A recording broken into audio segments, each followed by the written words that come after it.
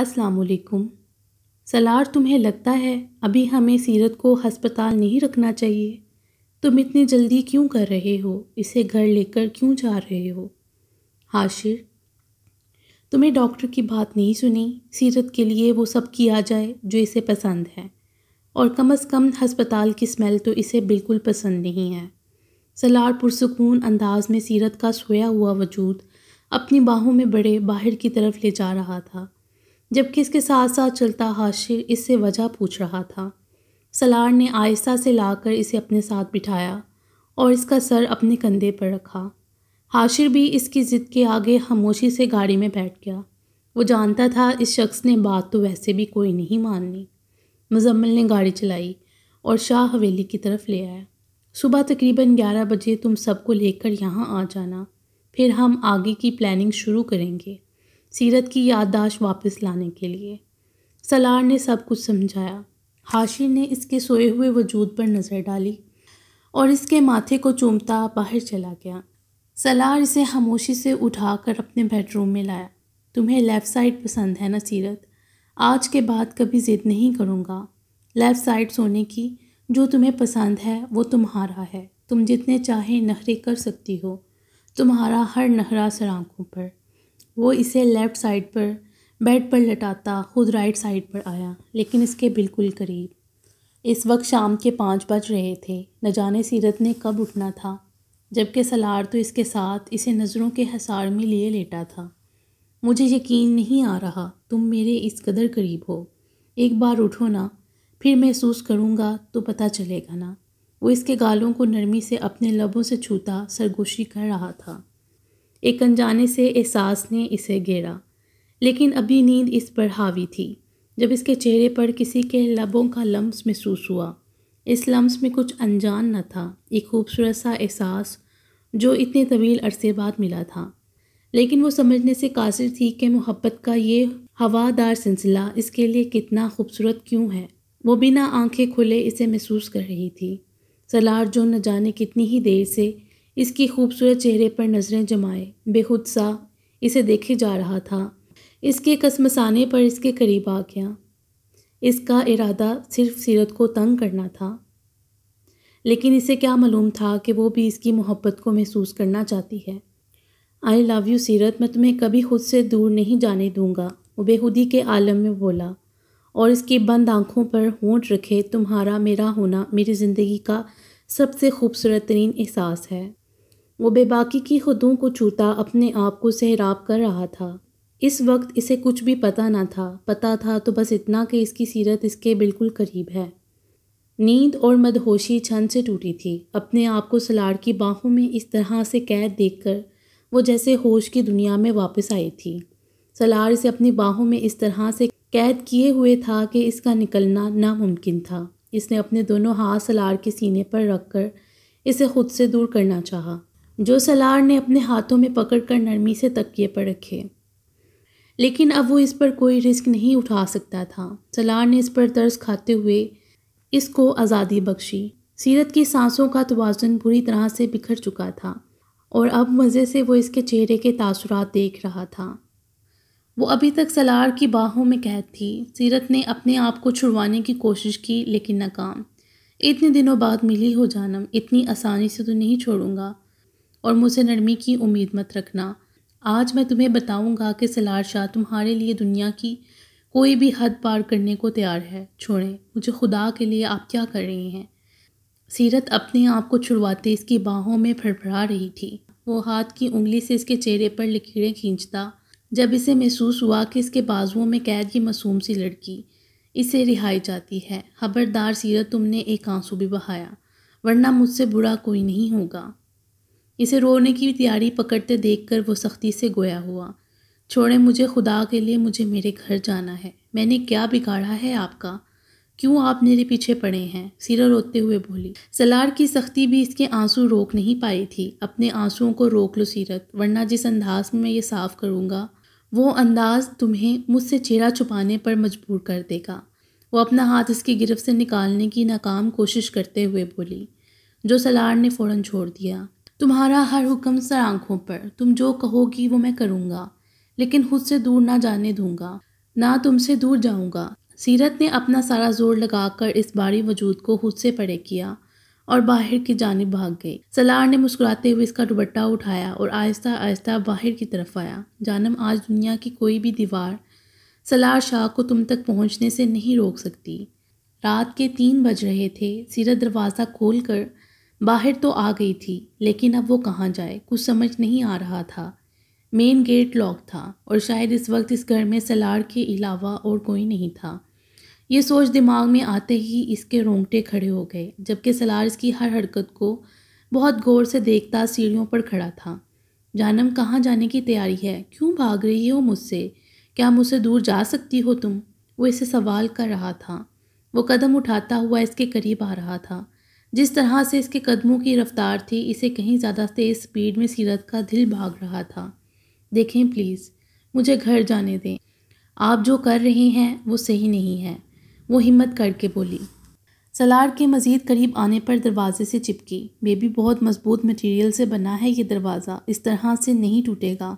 इसे दरवाजे पर ज़ोर डालता देख कर वो मुस्कुरा कर बोला प्लीज़ मुझे जाने दें। मुझे अपने घर जाना है। बंद दरवाजे से चिपकी आँसू बहाने की मुकम्मल तैयारी पकड़ चुकी थी। सीरत, क्या हो गया है तुम्हें? क्यों भाग रही हो मुझसे? मैं तुम्हारा महरम हूँ, कोई गैर महरम तो नहीं। शादी के बाद चार महीने तक तुमने मुझे तड़पाया। मुश्किल से मेरी ज़िंदगी में बहार आई थी कि तुम फिर से मुझे छोड़कर चली गई। पर अब वापस मिली हो तुम। सीरत ने इसे पीछे धक्का देने की कोशिश की, लेकिन इसकी बाहों में कैद थी। देखें, प्लीज़, मुझे छोड़ दें। मुझे मेरे घर जाने दें, वो रोते हुए हासी ऊँची आवाज़ में बोली थी। क्या कर रही हो सीरत? इतनी ऊँची आवाज़ में क्यों बोल रही हो? मामा जाग जाएँगी। सलार ने घूरते हुए कहा मतलब वो यहाँ अकेली नहीं थी। सलार ने जिस कमरे की तरफ़ देखते हुए सीरत से कहा था, वो अपना आप इसकी बाहों से छुड़वाती, तेज़ी से इस कमरे की तरफ़ बढ़ रही थी।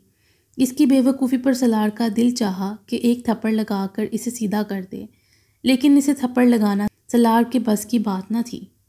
दरवाज़ा खुला होने की वजह से सीरत सीधी अंदर जा चुकी थी। आंटी, प्लीज़ मुझे बचा लें। वो मुझे मेरे घर नहीं जाने दे रहे। प्लीज़ इनसे कहें मुझसे दूर रहें। वो रोते हुए सारा बेगम के साथ बेड पर चढ़ चुकी थी। सारा बेगम जो गहरी नींद सो रही थी, इसे इस तरह से देखकर परेशानी से कभी सलार को तो कभी इसे देखने लगी। सलार, क्या हुआ है सीरत? इस तरह से क्यों रो रही है? सीरत रोते हुए इनके सीने से लगी तो सारा बेगम परेशानी से सलार से पूछने लगी। दिमाग ख़राब हो गया है आपकी बहू का। सलार ने इसे घूरते हुए कहा, चलो अपने कमरे में। सलार इसका हाथ थाम कर इसे अपनी तरफ़ खींचा। आंजी प्लीज़ मुझे बचा लें। ये पता नहीं मेरे साथ क्या करना चाहते हैं। सीरत अपने हाथ छुड़वाने की कोशिश में मज़ीद सारा बेगम के साथ चिपकी। सीरत, दिमाग ख़राब हो गया है, तुम्हारा क्या बोले जा रही हो? जल्दी से चलो अपने कमरे में, नहीं तो उठा कर ले जाऊँगा। वो इस बार गुस्से से बोला था। इसे हरगिज़ उम्मीद ना थी कि सीरत इस तरह से सारा बेगम को नींद से जगाकर इस तरह से रोना धोना शुरू कर देगी, जैसे वो इसका मुहाफ़ नहीं बल्कि लुटेरा हो। वो सारा बेगम से चिपकी खुद को इससे बचाने के लिए कोशिश कर रही थी। और यही बात थी जो सलार को गुस्सा दिला रही थी। सलार, तुम अपने कमरे में जाओ, सीरत को मेरे पास रहने दो, संभाल लूँगी इसे। सारा बेगम ने यकीन दिलाते हुए कहा, नहीं मामा, सीरत मेरे साथ जाएगी। सलार के लहजे में ज़िद्दीपन शामिल था।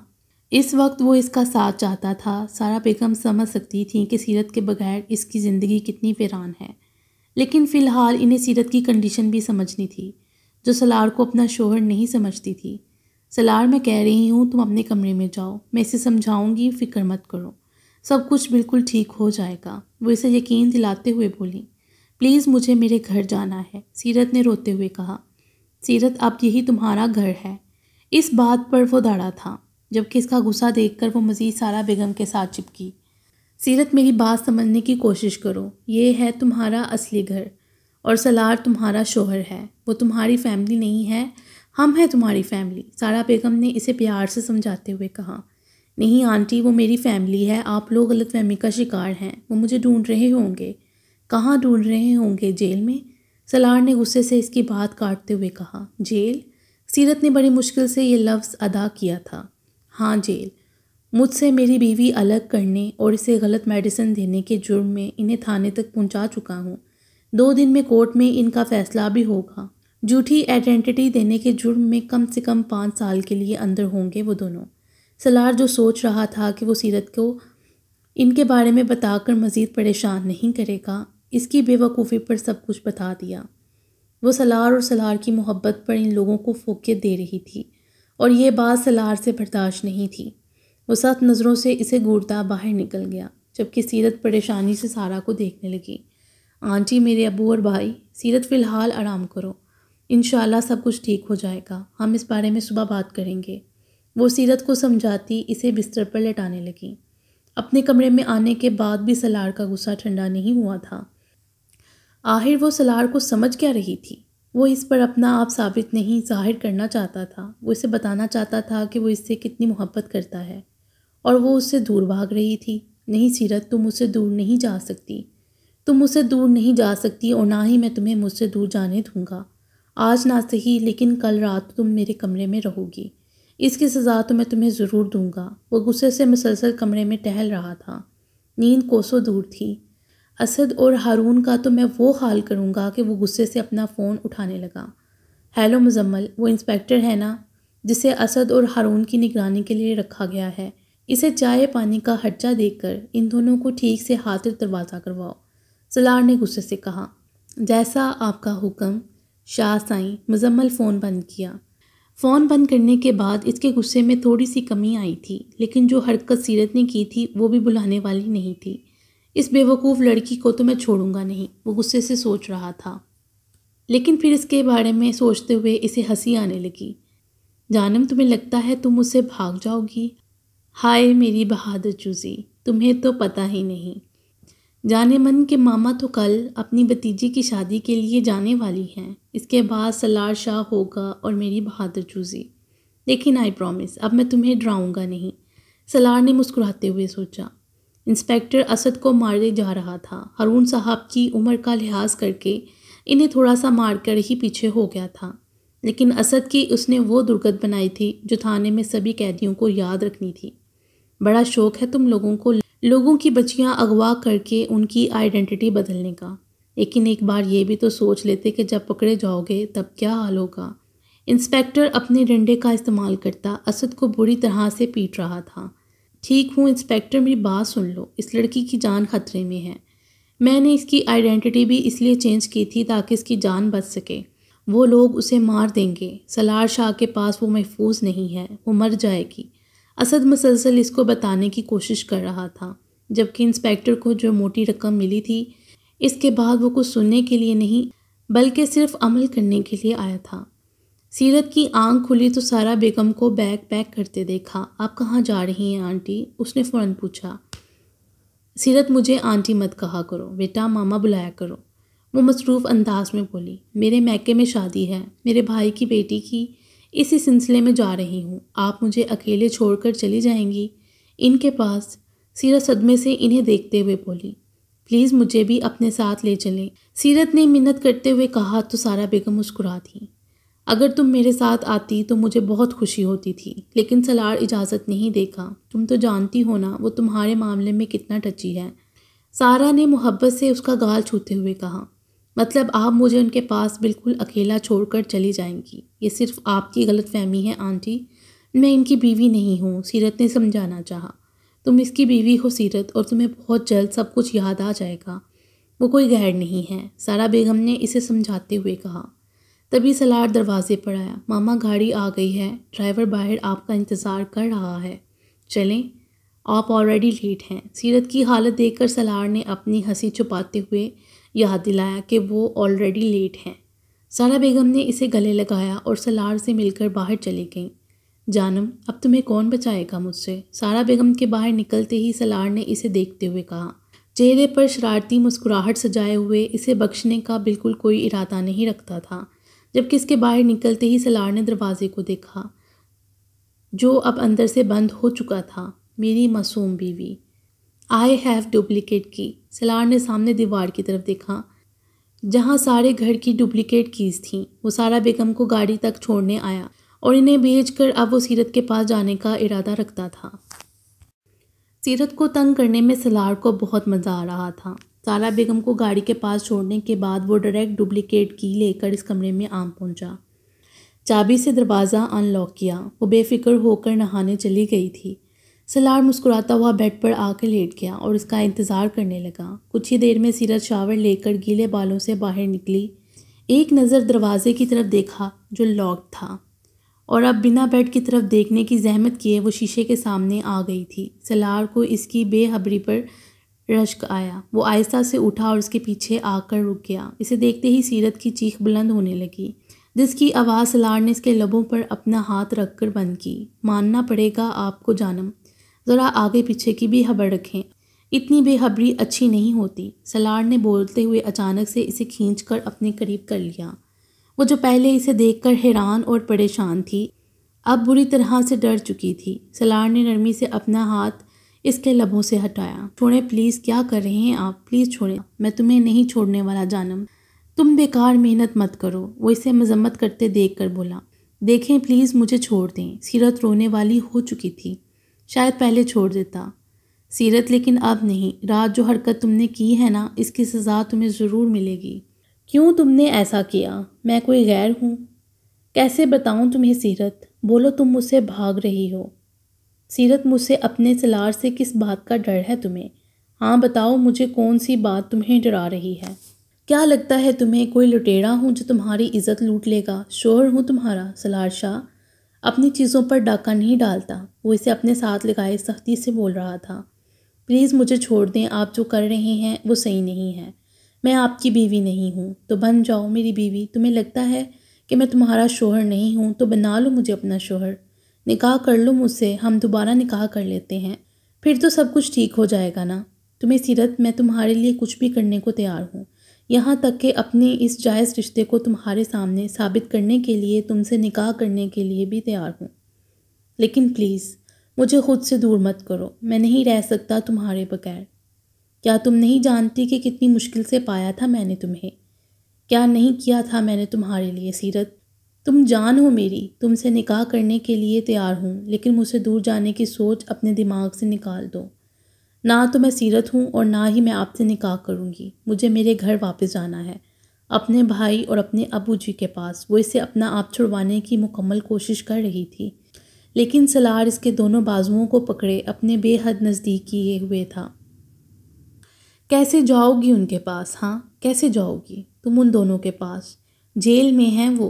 एक सेकंड में सौ सौ बार मर रहे हैं। वो तुम्हें मुझसे दूर कर रहे थे, सीरत, सज़ा तो इन्हें मिलनी ही है। परसों कोर्ट में इनका फ़ैसला होगा, लेकिन इससे पहले इनकी वो हालत हो जाएगी जो वो सारी ज़िंदगी याद रखेंगे। लेकिन अगर तुम मेरी एक बात मान लो तो वो दोनों बच सकते हैं। मेरा मतलब है मैं इन दोनों को आज़ाद करवा दूँगा। क्योंकि इन लोगों ने जो भी किया, एक काम इन्होंने अच्छा किया कि इन्होंने तुम्हारा ख्याल रखा। तुम्हारे साथ फैमिली की तरह रहे और एक ये बात, जिस तरह से मैं इन दोनों को माफ़ करने के लिए तैयार हूँ, लेकिन एक शर्त पर, मुझे आपकी हर शर्त मंजूर है। वो इसकी बात काटते हुए बोली। इसकी जल्दबाजी पर वो मुस्कुराया था। जब सलार ने इसे कमर से पकड़कर मज़ीद अपने करीब तर कर लिया, जो चंद इंच का फासला सीरत ने बड़ी मुश्किल से कायम किया था, वो भी मिट गया। छोड़ तो देते हम तुम्हें तुम्हारे हाल पर। छोड़ तो देते हम तुम्हें तुम्हारे हाल पर। लेकिन ये लब तुम्हारे फसाद की जड़ है। वो इसके होंठों पर उंगलियाँ फेरते हुए गंभीर लहजे में बोला, लेकिन सीरत के नाखूनों ने अपना काम दिखाया। सलार ने इसकी तरफ़ से नज़रें हटाकर अपने कंधे की तरफ़ देखा, जहाँ इसके नाखूनों की वजह से खून की नन्ही नन्ही बूंदें सफ़ेद शर्ट के ऊपर तक आ चुकी थी। कल हमारा निकाह होगा। इसके बाद तुम सिर्फ़ और सिर्फ़ सलार शाह की होगी। वैसे तो तुम इस वक्त भी सिर्फ़ मेरी हो, लेकिन देखो ना कितना बदकिस्मत इंसान हूँ मैं। तुम्हें अपनी मोहब्बत का सबूत देना पड़ रहा है। वो इसे इसके हैरान और परेशान चेहरे को देखता हुआ बाहर जाने लगा। इसे बाहर जाता देखकर सीरत ने सुकून का सांस लिया, जब वो पलटा। दो मिनट में नील कटर लेकर आ रहा हूँ वापस। किसी खुश फहमी में मत रहना। छोड़ूँगा नहीं तुम्हें। सलार इसकी तरफ़ एक प्यारी सी मुस्कान उछालता, बाहर चला गया। जबकि इसके जाने के बाद से सीरत का जो सांस बहाल हुआ था, इसकी बात सुनकर वापस अटक गया। सर, वो आदमी कह रहा है कि सलार शाह की बीवी की जान ख़तरे में है तो आपको नहीं लगता हमें इसकी पूरी बात सुननी चाहिए और ये बात सलार शाह को बतानी चाहिए। कांस्टेबल ने इंस्पेक्टर से मशवरा किया, अरे नहीं नहीं, ये सब यहाँ से बचने के बहाने हैं और कुछ नहीं। सलार साहब ने हर किस्म की बात सुनने से हमें मना कर रखा है। हमें सिर्फ़ उनकी अकल ठिकाने लगानी है, लेकिन सर, मुझे फिर भी लगता है कि हमें सलार शाह को इस बारे में बताना चाहिए। कहीं सच में ऐसा ना हो। हाँ तुम भी कहते हो ये बात तो बताने वाली। आज दोपहर में हाशिर साहब आएँगे। इनसे बात करेंगे इस बारे में। अगर इन्हें ठीक लगा तो पूछताछ करेंगे। वरना ऐसे केसेस में ऐसे बहाने तो मुजरिम बनाते ही रहते हैं। अपने कहने के मुताबिक सलार थोड़ी ही देर में हाथ में नील कटर लेकर आया और बिना इसके चेहरे की तरफ़ देखे इसका हाथ पकड़कर इसे बेड पर बिठाया। वो ज़मीन पर बैठकर इसके नाखून काटने लगा। याद है सीरत, तुम्हारे लंबे नाखूनों की वजह से अक्सर रात में मैं ज़ख्मी हो जाता था। तुम सुबह बहुत सारा रोती थी और फिर प्यार से मेरे ज़ख्मों पर मरहम लगाती थी। क्यों ना आज भी वैसा ही किया जाए? डोंट वरी मेरी जान, मैं तुम्हें रोने के लिए नहीं कह रहा। बस मरहम रखने के लिए कह रहा हूँ। मुझे आप पर बिल्कुल भी तर्स नहीं आ रहा और मैं उसको दवाई लगाती हूँ जो मुझे अच्छा लगता है। और आप मुझे बिल्कुल भी पसंद नहीं हैं। सीरत की ज़बान इतनी तेज़ी से बोली थी कि सलार से देख कर रह गया। या तुम मेरे कांधे पर मरहम लगाओगी या अपने होठों पर? तो कौन सा ऑप्शन सेलेक्ट करोगी? सलार ऐसे पूछ रहा था जैसे कोई बिल्कुल नॉर्मल बात कर रहा हो। हाथ मेरे आपने पकड़े हुए हैं, कैसे मरहम लगाऊँ? सीरत को दूसरा ऑप्शन बेहतर लगा था। जबकि बेहतरीन सलार ने अगले ही सेकंड अपने जिस्म से शर्ट हटाई थी, जिसे देखते ही सीरत नज़रें झुका गई। न जाने कौन से लेवल के बेशरम इंसान हैं आप। शर्म नहीं आती इस तरह से लड़कियों के सामने शर्ट उतारते हुए, वो गुस्से से घूरते हुए बोली, शर्म आती है मेरी जान। लेकिन तुम कोई लड़की थोड़ी हो, तुम तो मेरी बीवी हो। तुमसे क्या शर्माना? कौन सा तुमसे कुछ छुपा हुआ है? वो बेशर्मों की तरह कहता, साइड रॉड से मरहम निकाल कर इसके हाथ में रखता, पीठ इसकी जानब करके खड़ा हो गया। सीरत ने नज़रें झुकाकर इसके कंधे को रुई से साफ़ किया। मरहम लगाते हुए सीरत को एहसास हुआ कि इसे काफ़ी गहरा ज़ख्म आया है। फिर इसने अपने हाथ के नाखूनों को याद किया, जो काफ़ी लंबे थे, लेकिन अब कट चुके थे। दर्द हो रहा है, अपना गुस्सा बिलाए मासूमियत से पूछने लगी। हो रहा है, मगर बहुत मीठा दर्द। जलार ने इसके चेहरे को नज़र के हसार में लेते हुए मोहब्बत से जवाब दिया। सलार ने तो जैसे कसम खा रखी थी कि वो सीरत की किसी बात का बुरा नहीं मनाएगा, इसे हर्ट नहीं होने देगा। वो तो इसका हर हुक्म ऐसे मान रहा था, जैसे इसका कोई ग़ुलाम हो। सीरत को अपनी ही किस्मत पर रश आ रहा था। ये सोच के कि न जाने सीरत कौन है। जिससे ये शख्स इतनी मोहब्बत करता है। सीरत यार, तुम्हें पता है ना कि जब तक मुझे कोई प्लेट में सर्व नहीं करता, तब तक मैं नहीं खाता। पुरानी आदत है यार। सब नौकरों को तुम्हारी खुशी में छुट्टी दे दी थी। प्लीज़ तुम सर्व कर दो। सलार ने मिन्नत बड़े लहजे में कहा, शायद इसे बहुत भूख लग रही थी। मैं आपको खाना क्यों दूँ?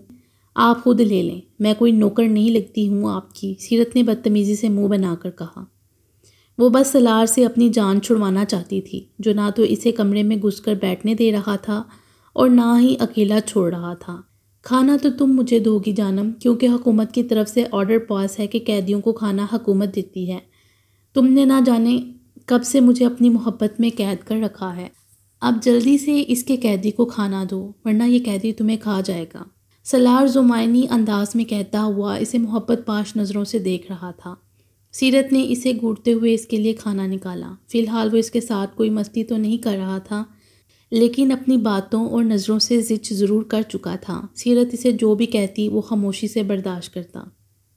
सीरत को अपने नाखूनों का दुख खाए जा रहा था, जिन्हें इसने बड़ी मुश्किल से लसन लगा लगा कर लंबे किए थे, और सलार ने एक ही सेकंड में काट दिए। वो टीवी देखते हुए इस बात का सोग मना रही थी। जबकि सलार इसके सामने सोफे पे बैठा सिर्फ़ इसी को नहार रहा था। निकम्मे हैं क्या? काम पर नहीं जाएँगे? शायद वो इसकी सूरत देख देख कर थक चुकी थी। नहीं जाऊँगा। आज का सारा दिन तुम्हारे नाम। तुम जो चाहोगी वो ही होगा। बल्कि कल हमारा निकाह तो शॉपिंग पर चलते हैं, सलार ने ऑफ़र की। नहीं जाना, मुझे वो गुस्से से मुँह फेर गई कोई बात नहीं। ड्रेस के लिए ऑर्डर कर देते हैं, सलार ने कहा। मुझे कोई ड्रेस नहीं लेनी। खुदा के लिए मेरी जान छोड़ दें। आखिर आप चाहते क्या हैं? आपने मेरे भाई और अबू जी तक को जेल भिजवा दिया। मैं आपसे निकाह के लिए तैयार हो चुकी हूँ। अब खुदा के लिए थोड़ी देर मेरी जान छोड़ दें। इस बार सीरत इसके सामने हाथ जोड़कर उकताए हुए लहजे में बोली, सलार को दुख हुआ। वो तो बस इसे अपनी मोहब्बत का एहसास दिला रहा था। वो कहाँ जानता था कि सीरत को इसके साथ बताया हुआ कोई लम्हा याद ही नहीं है। सलार बिना कुछ बोले उठकर जाने लगा तो सीरत को अपने लहजे का एहसास हुआ। वो इतनी बदतमीज़ तो कभी नहीं थी। इसके करीब से गुजरते हुए इसने सलार का हाथ थाम लिया। आई एम सॉरी मुझे बदतमीज़ी नहीं करनी चाहिए, सीरत ने नज़रें झुकाकर मासूमियत से कहा। और फिर सलार इसकी इस अदा पर सारी नाराज़गी बुलाकर फिर इसके करीब बैठ गया। कोई बात नहीं मेरी जान, मैं जानता हूँ कि इस वक्त तुम टेंशन में हो। ट्रस्ट मी सब कुछ ठीक हो जाएगा। पहले जैसा खूबसूरत वो इसके गाल पर नरमी से चुटकी काटता उठकर अंदर जाने लगा। तुम्हें थोड़ी देर के लिए अकेला छोड़ रहा हूँ, अपना माइंड अच्छे से तैयार कर लो। बाकी इन अगली वीडियो में।